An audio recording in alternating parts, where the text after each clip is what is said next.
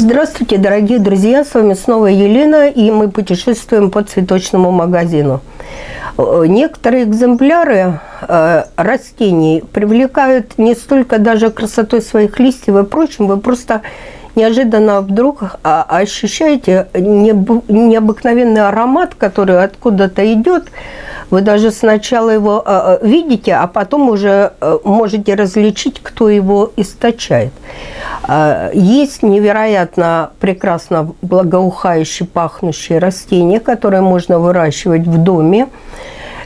Они не все легко сдаются, многие из них капризные, но вы их с удовольствием покупаете. Например, ту же самую гординию, с которой потом у многих возникает немало трудностей всякого рода, но тем не менее ее необыкновенный аромат – это то, ради чего ее, собственно говоря, покупают и потом выращивают на собственных окнах непростые это растения, скажем так, и о них можно говорить до бесконечности. Впрочем, некоторые видео я уже выкладывала на, э, на своем канале. Можете посмотреть. Какие растения еще можно закупить, которые невероятно хорошо пахнут и, в принципе, порадуют вас э, в вашем доме.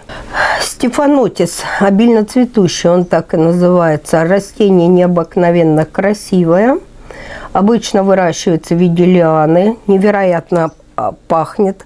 Так называемая датура или дурман, но это очень крупное растение с воронковидными цветами, которое источает невероятный аромат. Э, чтобы попроще, это у нас с вами гиацинты, которые нам дарят обильно к 8 марта – и я уже тоже вам рассказывала, каким образом с ними поступают, если вы хотите заниматься дома выгонкой и сами выращивать себе гиацинты каким-нибудь очень важным датам. Это все, в принципе, доступно, но еще раз напоминаю, это растение не для начинающих садоводов. Назовем вещи своими именами. Но вдруг вы с ними соблазнились. Что еще можно поставить себе на окно? Э, те растения, которые были выносливы, например, душистые герани. Цветки их вас могут не вдохновить, это обыкновенный калачик, но запах их листьев невероятно прекрасен. Многие из них – Э, дают аромат, если прикоснуться к листьям, э, подобный розовому маслу. Так вот, иногда выжимки из листьев герани заменяют дорогостоящее розовое масло. Имейте, пожалуйста, это в виду. И иногда под видом розового масла нам продают просто масло герани. И такие шалости тоже существуют. Так что не только, э, собственно говоря, цветы могут источать аромат, но и листья. Ну и вне конкурса, конечно, здесь цитрусовые.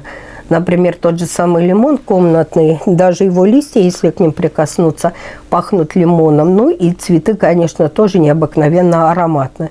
И не только у лимона, но и у всех э, э, цитрусов, которые вы будете выращивать комнатах выращивают и мандарины, и апельсины, и цитроны, и э, цитрусовое семейство достаточно обильное. Если вам будет интересно, я сделаю дополнительное видео на этот счет как их выращивать, что необходимо и так далее. Растения с тонким ароматом, ощущаемым лишь вблизи них, располагают как можно ближе к человеку, то есть на столе или на шкафчике, где вы можете наслаждаться его аромата. Растения с сильным запахом по типу гордения или стефанотиса могут благоухать так сильно, что иногда приводить к головокружению, поэтому их никогда нельзя размещать в спальных местах или там, где вы находитесь очень долго. Растения, которые издают запах при прикасании к ним, то есть душистая герань, пеларгония, желательно разместить там, где вы будете контактировать с ней случайно или намеренно, то есть касаться ее душистых листьев. Душистая герань или пеларгония душистая – одно из лучших комнатных растений, ценное ароматом своих листьев. Видов ее предостаточное количество. В принципе, чаще всего в цветочных магазинах магазинам вам предложат два вида благоухающих растений, ну, скажем, три. Гиацинт, стефанотис.